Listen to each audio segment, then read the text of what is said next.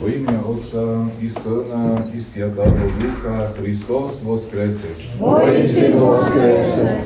Роби і возлюблені братья і сестри. Dnešná nedíľa sa volá Antipascha.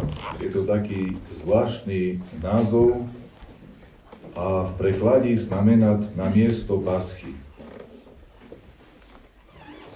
A za to bola tu tá nedíľa nazvaná, že na miesto, na miesto paschy, lebo, jak to vysvetľuje Sviatý Grigori Bohoslov, pred týždňom, keď bola nedíľa paschy, to bol taký hraničný deň. Časť tej nedíly ešte Kristus v hrobi prebýval, potom vostal, potom mu ešte vás nikto nevíril, potom sa začal postupne zjavovať, pomaličky začali sa objavovať perš ľudia, ktorí ho mohli poznať, uvidieť, uveriť. Da ktorí ešte ho neuvideli, jak Tomáš apoštol a nechtil veriť. To bolo taká, taká dramatická nedela. Hovorí Sviatý Grigori, to bola taká hraničná. A potom nasledoval svitlý týždeň, teraz celý kedy sme pomaličko si aj síly veci načerpali, aj sa tak uspokojili. A teraz môžeme si to tú udalosť paschy pripomenúť veci v kľudi.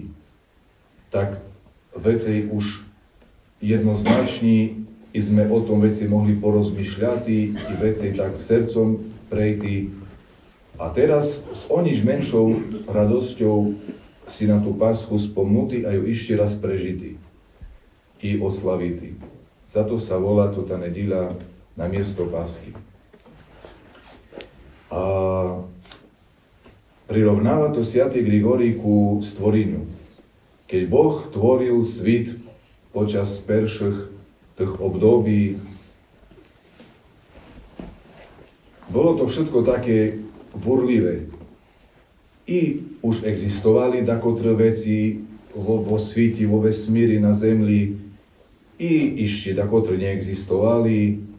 Všetko bolo také neusporiadané, také burlivé. A potom nakoniec už sa to ukľudnilo, Boh sotvoril človeka už na takú stabilnú zemľu, už takú spokojnú. Potom posledný deň tak sa hovorí, že by sme to my ľudia lepšie pochopili, že Boh oddychoval, ale samozrejme Boh nepotrebuje oddychovať, ale treba to chápať v tom zmysli, že bol to taký deň pokoja, kedy Boh toto všetko posviatil. I za to uh, bolo ustanovené, že uh, posledný deň týždňu sa má zasviatiť Bohu. Takže by ľudia duchovnomu životu hlavne venovali to ten posledný deň. A reálny život začal až potom na 8. deň. V podstate hovorí Grigori až v nedílu. I, I po tom stvoreniu všetkom na začiatku, až v nedílu začal reálny život. I tak i po paschy, e, po, po tom takom všetkom strašnom, čo sa stalo, i ľudia veľa sú aj sme tak trošku vyčerpaní zo spostu, ktorý má veľký význam, i bez toho vyčerpania by to nebolo vôbec uh, ono. Ale treba i zase načerpať síly, trošku si odpočinutí a na to sa pozerať po týždňu s kľudom. I, I toto má svoj význam, i my ľudia potrebujeme trošku nabrať silu. I to tá subota, jak hovorí jeden duchovník, veľká subota, svítla pred Páschou, hovorí, že to je najnepokojnejšia nedíľa, najne, najnepokojnejšia subota pokoja. Mala by byť pokojná, ale nie je vôbec, lebo sa variť, hej, sa uh, veľa vecí pripravuje na pásku, i tak je taká narušená, i to je také náročné, sú dni také náročné.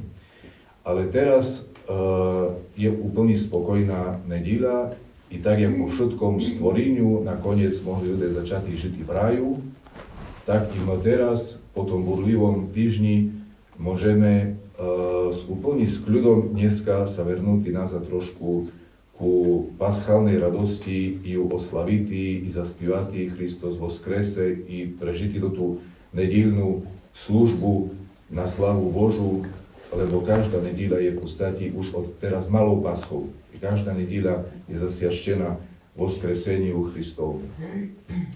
Druhý názov dnešnej nedíly je nedíľa obnovenia. A vám vysvetľu, že čom sa tá nedíľa volá, volá nedíľa obnovenia. Lebo na Veľkú sobotu pred Páskom sa od pradávna zvyklo krestiť ľuďoch, hlavne dospelých.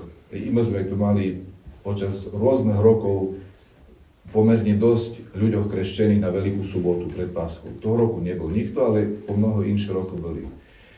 A v minulosti bolo zvykom, že celý svitlý týždeň toto ľudia chodili v tom kresnom oblečeniu, ktoré dostali pri krsti, také svitlé, krásne, i oni v ňom celý týždeň chodili. A na nedílu dnešnú, týždeň po Paschy, toto oblečenia sa vzlikalo a začali už chodiť v bežnom oblečeniu. Ale v cerkvi im tak bolo povečeno. Kresné oblečenia, toto nové, čo ste dostali, teraz snímate zo sebe, vzlíkate zo sebe, ale nezabudnite, oblečenia ste vzlekli, ale nový život mať začatý dnešnom dňom. Úplne inšie obnovené ľudia, že ste boli. Že oblečenia krásne nové dávate dolov, ale duša nová mať zostati. To tu nikda nesmíte dať heď zo sebe i v srdci si odnieste to krst, i to ten odkaz, i to tú pasku, i toto chrystianstvo do ďalšieho života. To znamená, že to bol taký začiatok reálneho chrystianského života novokrstených ľuďoch, aj tá nedíľa.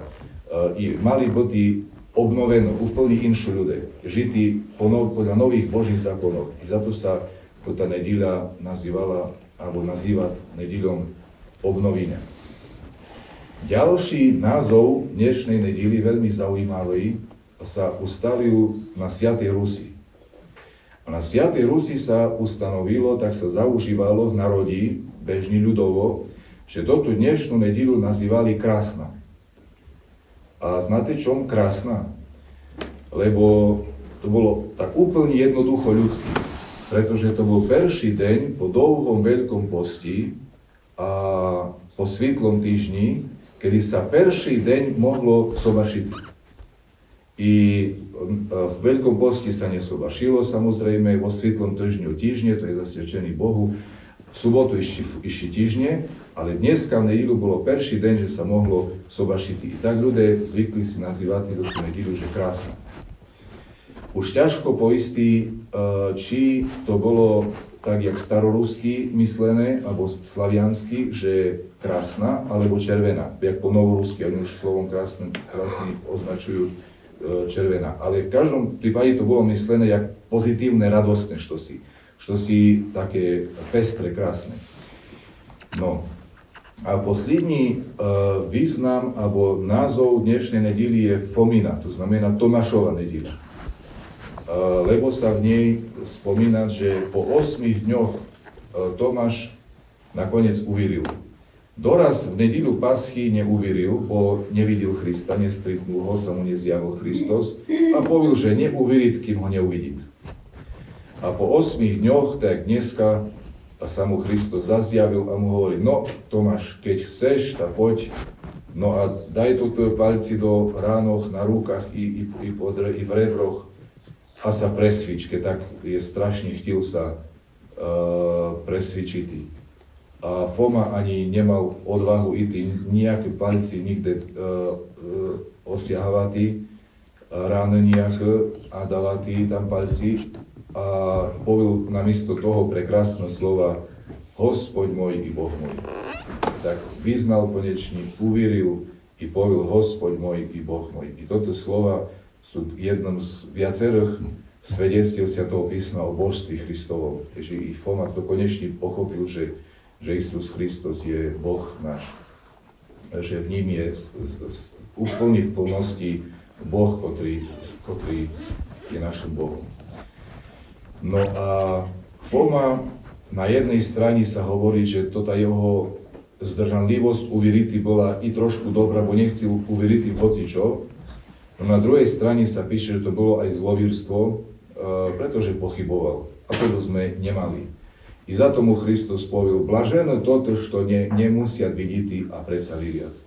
Hej, što nechcú dôkaz a s očami smotriti a s palcami hmatati a neznám što, ale dokážu spokojní uveriť aj na slovo Bože a dokážu srdcom pocítiť tú, tú e, pravdu i tú, tú Božú dobrotu.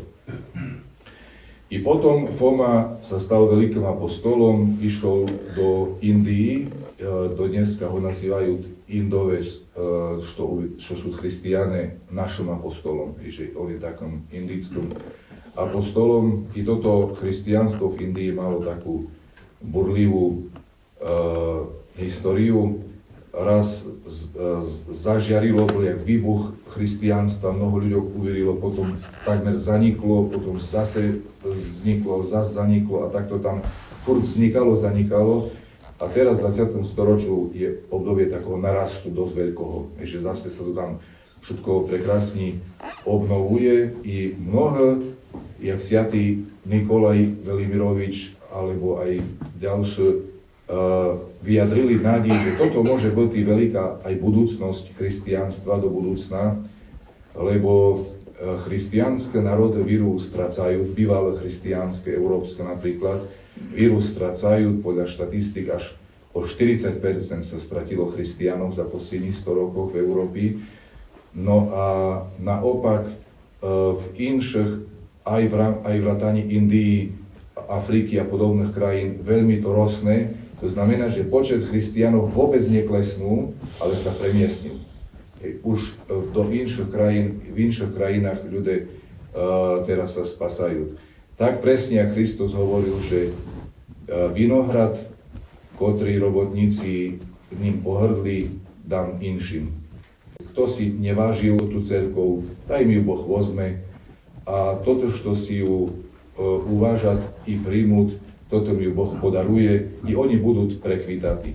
I toto národ, čo zavrhli christianstvo, postupne vymrúť vo v hríchoch svojich. Jak hovoril Kristus, keď ne, nepríjmete víru, umrete v hríchoch svojich. I oni tak sú, keď sa nespamiatajú, odsudené na zanik a už zanikajú postupne, to hlboko klesať. Je to tak všetko populácia v tých národoch, čo zavrhli christianstvo.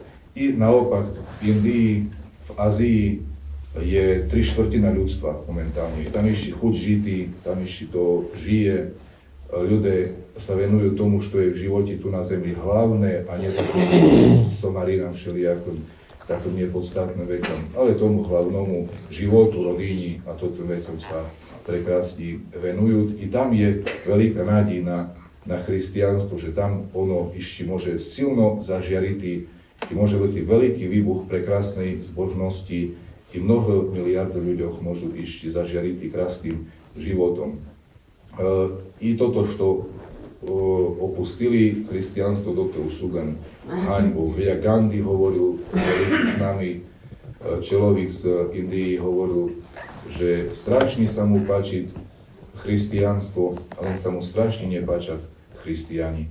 E, to znamená, že my už sme tak len na, na haňbu aj tomu christianstvu veľoraz, že neveríme tomu poriadne, nežijeme podľa toho, ale druhé, verím, že uviria i určitý christianstvo Jediné je tou živou silou, ktorá môže ešte obrodiť národy, len otázka bude, ktoré národy to budú i ktoré nasvíďať zemľu. Oni potom zdedia zemľu. Hej, oni naplňa zemľu, oni budú žity na tej zemli. I toto christianstvo bude u nich prekvítať. Nám zostávať len sa pokajati poriadní, že sme sa ešte tak pridali ku tej hrstky živých. Hej, že sme ku ním patrili, hoď nás tu bude malenko, ale že sme boli na strane živých. Nie na strane vymierajúcich hrychoch, ale na, na strane živých. No a ku tomu, jak, što to vlastne je christianstvo, jak, jak vše, i dneska vám povím, že by sme pochopili podstatu, bo no veľa raz podstatu nechápeme, jak, jak by sa malo christianstvo prejavovať. A jedným z veľkých prejavov christianstva skutočného je pokora. Tak jak Kristus si všimnite, on hovoril, ja by je mohol zavolať 10 tisíc angelov, aby všetko toto vojakoch tu nám pozabíjali a nikto by sa ňa nedotknul, ale Kristus nič také neurobil.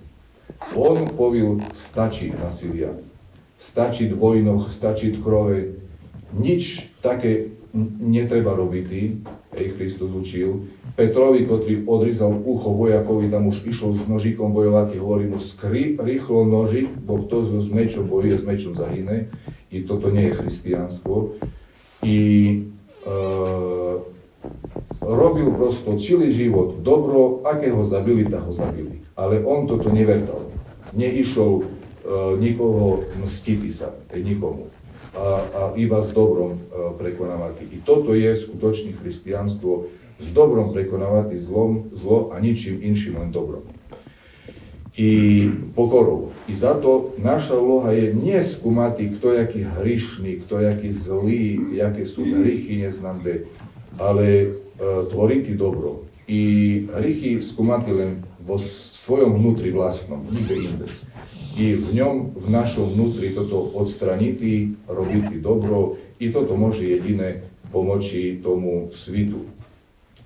I tak presne robil i starec Paisi, ktorého príklad vám chcú uvesti dneska, uh, taký.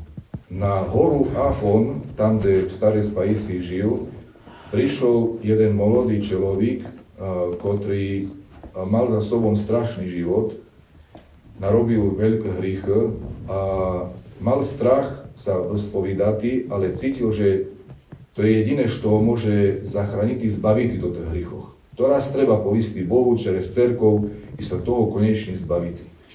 Ale mal strach. No, tak sa prekonal, prišiel za jedným siašteníkom a sa vyspovedal. A to siašteník, keďže to boli skutočne strašné hriechy, tak kde v polovičke tej spovedi už to nemohol slúchať, ho vrhnal. Proste ho vrhnal, hovorí, to, to, to, to sa nedá ani slúchať, ani, ani to nemôžu, ani toto tu na vytrimatý. I, iď heď, utekaj, vypadni, proste ho vrhnal heď. I uh, tot išli do väčšieho zúfalstva, padnú, hej, už, už neznal, čo má robiť. A povil svojmu jednomu priateľovi, s ktorým bol tam na si hovorí mu, už veci na spovi ne, nepídu nikda. I tak jen dopadnú, nepídu už nikda. I vin mu tak povedal, sluchaj, uh, nehovor, tak skús len i ty ešte poznám jednoho takého staroho monácha, ktorý určite ťa. I prišli za starcom Paisijom, vtedy ešte ako obyčajným monáchom, takom staršom, starom. I tak sa podarilo presvedčiť toho uh, muža molodého, že išli skúsil raziť na spoviť, prišiel ku starcovi Paisijovi, Všetko mu rozpovil a starec Paisi mu tak povil. E, Slúchaj, sláva Bohu, že sa rozpovídal, konečne sa môžeš toto hriechov zbaviť a nebuď z toho nešťastný, pretože ja jem také isté veci zrobil a ešte oveľa horšie. I vin tak sa uvoľnil, sa ukľudnil, potom ešte podrobnejšie všetko vyspovídal, úplne zo svojej duši všetko dostal, odošol jak na krylách, oslobodený, odľahčený, uspokojený. A prišiel ku tomu svojmu kamarátovi a mu hovorí, sluchaj, chvála Bohu, bardzo dobrý to dopadlo, konečne sa vyspovídal, konečne mňa takto vyslúchal, mňa nevyšmaril, konečne sa zbavil toho bremena, si predstav, tak mňa pozbudil, potišil do ten e, starec, mi povedal, že i on nie je lepší, hej, i, i on má za sobou veľké hriechy, a, a že také isté narobil v mladosti. A vtedy mu to jeho priateľ hovorí, no staré Spajsi je na Atosti v monastéroch už od 12 alebo 14 rokoch, on toto nemohol nijak zrobiť, hej, ale on ti chcel pomôcť. I na sebe zobral najväčšiu špínu, jaká môže byť, že by jest sa nestesňal a že bude zmoh spokojne hovoriť. I toto narobiť on nemal jak, nemal ani D, ani jak. I vtedy si to mladý muž ešte veci úctil starca a pochopil, jaké je dôležité nie sebe ukázať, nie nám dobrý vyzerať v očiach ľuďom, ale druhým pomoci, že by mohli spokojne žiť. I vtedy všetko nám bude dobre. Tak robme i tak sa starajme, že by sme nie my vyzerali peršie, alebo lepšie, alebo neznám, jak mocné. Lebo to bude len bida z toho. Bude len predbiehania, podozrievania, porovnávania, osuždenie a nič veci. A my len sa starajme, żeby druhým dobrý bolo, żeby voľký vládnu, żeby ľubov bola medzi ľuďmi, a nie, že sme my, jak vyzerali, jak sme si my predstavovali. To je nepodstatné, jak my vyzerali. My sa starajme, żeby každému bolo dobrý, żeby sa každý zbavil hríchoch, żeby každý našol pokoj, żeby každý našol radosť i żeby znal spokojní za Bohom kračati i my, żeby sme mu v pomohli a nie ho potopili so svojimi nejakými ambíciami alebo pichou alebo neznám s čím. Toto je christianstvo i od toho máme tak daleko, veľa raz my sebe ospravedlňujeme, my sebe obhajujeme pred ľuďmi, my e, sa hníváme, bo nám takto daš to planet povil a podobné veci a tomu len kazíme atmosféru, taký jak smrad kolo sebe vytvárame duchovný. I toto všetko len kazí, to je a nič dobre neprináša. Netreba nikomu nič dokazovať, netreba sebe ospravedlňovať, netreba sebe ukazovať v dajakom dobrom svitli. Treba sa starať, že by bola ľubov, mír i pokoj. Vtedy bude všetko prekrásny i dobrý. Naj Hospod Boh nám v tom pomáhať, i jak Isus Hristos hovorí apostolom, mír vám, da i my ľuďom mír dávajme i, i, i, i teplo pocititi. Hristos voskres. Hristos voskres. Amém.